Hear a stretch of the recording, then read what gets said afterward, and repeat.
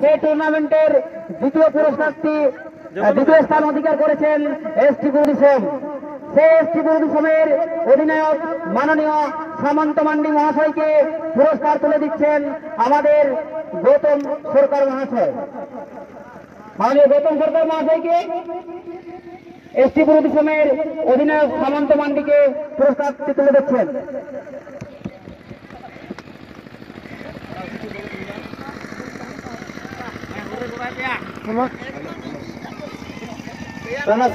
जंगल महल club. जय जुग जय जंगल महल क्लब जय जुग जियर जंगल महल क्लब जय जुग जियर ताहन मा। ताहन मा ताहन मा। एसटी विरुद्ध सम हेपी अरे एसटी विरुद्ध सम हेपी अरे एसटी विरुद्ध थैंक यू थैंक यू কমিটির সবাইকে এবং গ্রামবাসীর সবাইকে আমার ধন্যবাদ। ধন্যবাদ জানাচ্ছি। অনুষ্ঠানটা এখানেই শেষ করলাম।